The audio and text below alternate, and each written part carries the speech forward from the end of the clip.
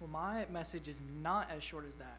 So I will try to hurry up um, as best I can. But uh, I would like to say thank you to Pastor and Brother Caleb for doing this. I always enjoy uh, the team takeovers. Um, I love preaching, and I take it as a uh, a privilege to be able to preach. So thank you guys.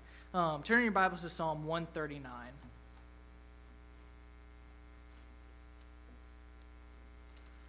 Psalm 139. If I had to title this message, I would title it as God Knows You. Um, I think it is a very uh, humbling and encouraging thought to think that God knows me. Uh, just to think that, you know, the God who created the universe, who's in charge of everything, who has the liberty to do everything, knows me. He, he knows me. He, love, he knows me. He knows you. He knows all of us. Um, it's an encouraging and comforting thought. Uh, if you found your place, say amen. amen. I'll begin reading at verse number one. It says, O Lord, thou hast searched me and known me. Thou knowest my down sitting and mine uprising. Thou understandest my thought afar off. Thou compassest my path and my lying down, and art acquainted with all my ways. For there is not a word in my tongue, but lo, O Lord, thou knowest it altogether. Thou hast beset me behind and before, and laid thine hand upon me. Yes. Such knowledge is too wonderful for me, it is high, I cannot attain unto it. Whither shall I go from thy spirit, or whither shall I flee from thy presence? If I ascend up into heaven, thou art there. If I make my bed in hell, behold, thou art there. If I take the wings of the morning and dwell in the uttermost parts of the sea, even there shall thy hand lead me, and thy right hand shall hold me. If I say, Surely the darkness shall cover me, even the night shall be light about me. Let's go to verse 17. How precious also are the thoughts, are thy thoughts unto me, O God, how great is the sum of them. If I should count them, they are more in number than the sand. When I awake, I am still with thee. Verse 23 says, Search me, O God, and know my heart. Try me and know my thoughts, and see if there be any wicked way in me, and lead me in the way everlasting you to talk about a passage that can get you emotional. I mean, those are beautiful truths. Uh, verse 1 O Lord, thou hast searched me and known me. So, I don't know about you, but I have never searched for something without a purpose. You don't just go searching for nothing. You search for a reason. You have a specific purpose for searching. Um, it's always it's always specific. Uh, God is searching us for a specific reason. He's you know, he's the God of the universe, but he's searching for you. Um, it says, Thou hast searched me and known me. Um, typically, we don't search for things that we don't care about. I mean, we, you know, if someone cares about something and we care about them, then we can help them because it has some sort of value to us. But we never go looking for something that we really have no interest in. Um, God is searching for us to know us because he has an interest in us because he cares about us individually. Uh, verse number two says, Thou knowest my downsitting and mine uprising. Thou understandest my thought afar off. Uh, God knows your habits, He knows your routines, He knows the times when you're feeling uh, energetic and ready to go serve God and just face the world, and He knows when you're feeling lazy and sinful, and whenever you're making excuses, and He knows whenever you're like, ah, I'm a little too tired, I'll, I'll skip church today, I'll skip visitation. He knows your habits, and He knows the times where you're, when you're on fire. I mean, He knows everything about you. Uh, it says, Thou understandest my thought afar off. As a young teenager, a growing teenager, um, this is definitely something that a lot of um, men, boys struggle with, is um, thoughts. I mean, you can just be sitting doing the most random thing and just have a thought, and you go, wow, what in the world? Yeah. Why did I just think that? I mean, you know, it happens to all of us. And it's one of those things where it's like, well, now you have to say, well, okay, well, Lord, forgive me for that because that was a sinful thought. Right. Like, I don't know where that came from, but God knows you were going to think that. He, I mean, He understands and knows all of our thoughts long before we ever have them. Uh, verse number three says, Thou compassest my path and my lying down. Thou art acquainted with all my ways. So I wanted to make sure that I understood what that word compassest means. So I used the good old fashioned, good old fashioned KJV dictionary and um, looked it up. And um, so in this particular verse, compassest, uh, it means stretch, reach, extent, the limit or boundary of space, and the space included. apply to time, space, sound, etc. Took me all of about three seconds before I got like really emotional and realized that God is all around us. He's in our time, He's in our space, He's in what we hear, He's in everything. He has compassed, He has engulfed Himself in all of our ways. He is a, He's acquainted with all of our ways. He knows who you are, He knows what you do, He knows. He, he knows all your quirks. I mean, he knows everything about you, and he's he's all around you. It's amazing. It's beautiful. Um, Verse 4 For there is not a word in my tongue, but lo, O Lord, thou knowest all altogether. God knows your vocabulary. He knows what you say when you're in church, when you're being super spiritual. He knows what your vocabulary is when you're at home, when you're more relaxed. And he knows what your vocabulary is when you're out at work, whenever, you know, not a lot of people know you. You can be whoever you want to be. He knows your vocabulary. He knows who you are. He knows what you say. Um, number five, verse 5, it says, Thou hast beset me behind and before and laid thine hand upon me. God has completely surrounded us. He is encompassed around us, and His hand is over us, protecting us. Um, all of these thoughts are incredibly comforting thoughts to me personally. Just know that that my Lord and Savior is around me, and He's in everything about me. He knows every single thing about me. Um, I have nothing to complain about. I mean, there is there is nothing here that I should complain about. Right. Hebrews 13:5 says, "Let your conversation be without covetousness, and be content with such things as you have, for he has said, I will never leave thee or forsake thee." My God is always with me, right. every single step of the way. And that is something that you can count on for the rest of your life. I mean, no matter what, he's there with you. Uh, Philippians 2:14, it's still in the Bible. Um, it says, "Do all things without murmurings and uh, murmurings and disputings." Um, I mean, what do you have to complain about? I mean, really? You know, Brother Caleb brought up a, a really interesting point in teen class that I had never knew. Um, it was that more Israelites died because of complaining in the wilderness than they did because of war. So why do we sit around and complain about everything we can find? I mean, we don't like we don't like the color something was painted. Right. Whoa, big deal. I mean, God is still on the throne. He still died for you. He still loves you. I mean, there's nothing you can complain about. I mean, really. The Israelites were brought out of bondage, they were being fed heavenly food. Um, there were birds who were just giving themselves to the Israelites, um, and they were being led to a land that was promised to them, and yet they still found something to complain. And yet, us Christians living in modern day America, where we have the liberty to serve God and worship and all these modern amenities where we get to drive places and, you know, food, we have, we have nothing to complain about. I mean, anything we can find is absolutely petty and it's not worth it and it's sinful. Um, I mean, that's just, that's the truth of it. I have been guilty of complaining a lot, and um, to be honest, I'm tired of complaining. Uh, I mean, it gets you nowhere. It does nothing. It accomplishes absolutely nothing. Complain about whatever you want, but it's going to do that. Yeah. Zero. I mean, there's no point in it. Um, I lost my train of thought. Um,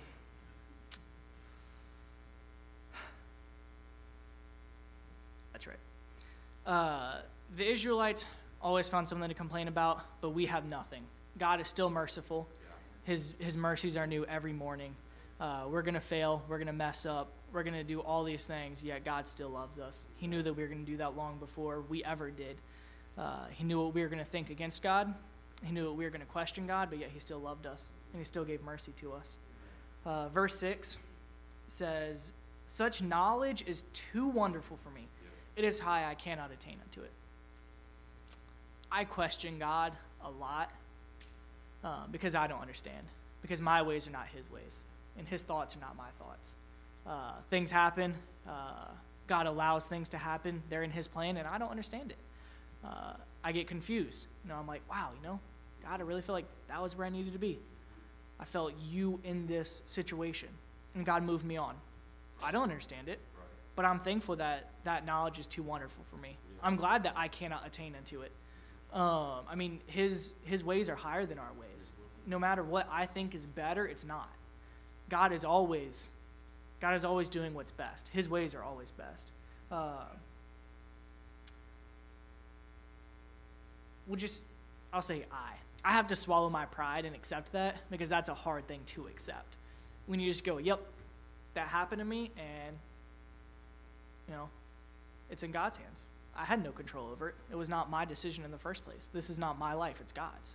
Why would I complain about something when I don't know the end? God does. Um, it's better to just accept that God has in control, and just accept the fact that uh, we may not understand, but we still believe. I mean, I don't understand what God is, where God has taken me and why He does the things, but I believe in Him. I believe He has a plan, and I know He's taking me somewhere. Um, I mean, that should come for us without any doubt. Um, my second point is that this has character. Um, this psalm reveals a lot of character about David. He's he's not only uh, stating a fact that this is God who is who knows me, who is encompassed around me, but he's he's embracing it. Um, seven, verses seven through eleven, he's uh, speaking about the uh, omnipresence of God as well. Um, he says, "Whither shall I go from Thy Spirit, or whither shall I free, flee from Thy presence? If I ascend up into heaven, Thou art there. If I make my bed in hell, behold, Thou art there.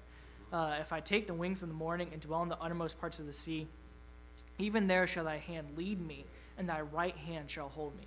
So no matter if we're, I mean, the highest parts of the sky, the lowest parts of the earth, God is still with us. He's still leading us. He's holding on to us. No matter where we go, he's always there with us. Um, so this reveals character about David because he's acknowledging it, he's and he's embracing it. Um, an interesting thought I had is I wonder how many of us would be hundred percent fine if somebody accompanied accompanied me every day for an entire week. I mean, I had no alone time, none. I mean, you know, maybe that makes you a little uncomfortable, but I mean, what do we have to hide? I mean, we shouldn't have anything. Um, David is, he's saying, you know, here, here's my life. He is opening up and just saying, you're already here. I might as well accept it. Um, there's, yeah, he's, he's saying, um, his life is, he's, he's opening up. Um, and interesting is people people define character as who you are when nobody else is around but I mean, you're never truly alone because God's always with you. Um, so I think a better definition of that is character is who you are when it's just you and God. Yeah. I mean, it's true. Um, God already knows everything about you. He knows your character, but you're the one, I mean, making it. Right. Um, I think Pastor had even mentioned something uh, a few weeks ago, but if you knew everything about me and I knew everything about you, we would look at each other differently. I mean, we would. Because there's things that some of us have done where it's like, wow, that is disgusting. Mm-hmm. I mean, it's true. I'm not, I'm not talking about like, nasty. I'm talking about sin. Yeah. I mean, we all are. We've all done something. Um, I know as, as a child, when you do something to, and your parents look at you, and if they have an, a, a disappointed look, mm-hmm. the, their face changes. You can see. I mean, there's a changed thought process you know, whether it's uh, disappointment, embarrassment, guilt, anything like that, there's always a changed thought. There's a changed look. Um, same can be true with spouses or anything like that. Um, but no matter how many times we sin, no matter how many times we do these awful, nasty, disgusting things, God never changes how He looks at us. Uh, verse 17. It says, How precious also are thy thoughts unto me, O God. How great is the sum of them! If I should count them, there are more in number than the sand. When I awake, I am still with thee. Out of all the things we do, everything we say, everything we think, God never changes how he thinks about us. Precious thoughts. Uh, I don't know about you, but I've never tried to count sand. Um, I would I would say it's basically innumerable. Um, God is just constantly thinking precious thoughts about us and towards us. Um, again, it is it's too wonderful. It, it blows my mind to think, yeah, wow, I make so many mistakes, yet God just constantly precious thoughts. Um, it's amazing. I love it. Um, my, my last point is point number three. The psalm has a call. Uh, verses 23 through 24 says, Search me, O God, and know my heart Try me and know my thoughts, and see if there be any wicked way in me, and lead me in the way everlasting. David is, he's surrendering. He's surrendering his I, would say his privacy, but he's surrendering his life to to open it. I mean, everything about his life, he is saying, "Search me." Mm-hmm. He's he's not only just stated that God has already searched him, but now he's asking God to search him. He's saying, "I know you've already done it. I know you are doing it, but please, search me, search me, O God, and know my heart. Try me and know my thoughts." And he's saying, I mean, was my motive right? Try my heart. I mean, is, is, is the reason that I'm doing this, is it right? Is it righteous? Uh, know my thoughts. I mean, you can be doing something right and have a bad thought behind it. I mean, it's true. Um, and see if there be any wicked way in me and lead me in the way everlasting. Now, church, whose, whose way is everlasting? God's. He wants, he wants to be searched to be cleansed of any wicked way so that he can be led in God's way. Um, it's it's humbling just to think that this is what God wants. He's already searched you. He already knows you. All he wants is you to surrender. All he wants is for you to say, "Search me, God. Is there anything in me?" Um, I mean, you know, it's it's one of those things where you can be like half-hearted. You can be like, "Yeah, search me, God," but eh, don't search that area. Like, search all these areas.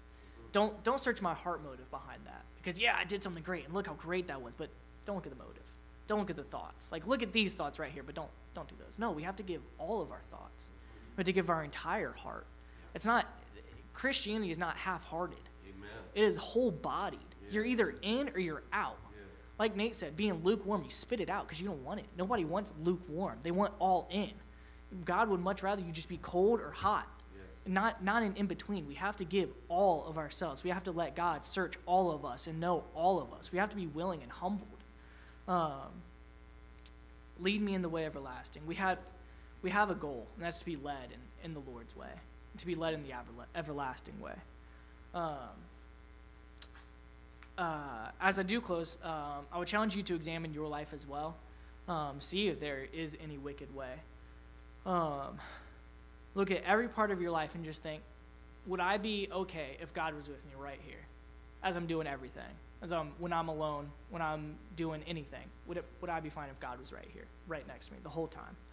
Um, the second challenge would be to look at other Christians the same way God looks at us. Um, I'll be honest, that's that's hard to do because maybe some of us do know something about another Christian and we aren't looking at them the same way. Um, God is He's always our example. And if He's just constantly thinking precious thoughts toward us, we need to be thinking precious thoughts towards other Christians as well. Like, yeah, there's something that I know about people in here. It's like, yeah, all right, that's not great. Doesn't change how I should look at them. I'm the same as they are. We're both sinners, saved by grace that God never gave up on. Like God continually renews His mercies for both of us. I mean, we're no we're no different. Um,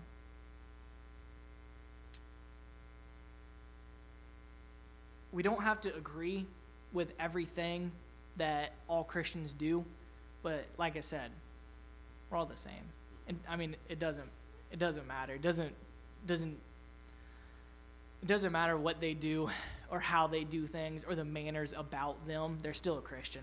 They still love God, and God loves us the exact same. Nobody is above. Yeah. Uh, the ground is level at the foot of the cross. Amen. So, um, there is a lot in this psalm, and I like skipped a lot of it. Um, but as a close, let's um, let's do our best just to apply this to our life as we go forward. Uh, dear Heavenly Father, Lord, come to you in prayer. I just thank you for this opportunity that I've had to open your word. Lord, I pray that you would uh, just help your word not to return void, that uh, someone would glean from this, Lord. I pray that you would uh, just be with the rest of the evening. I pray this in your name.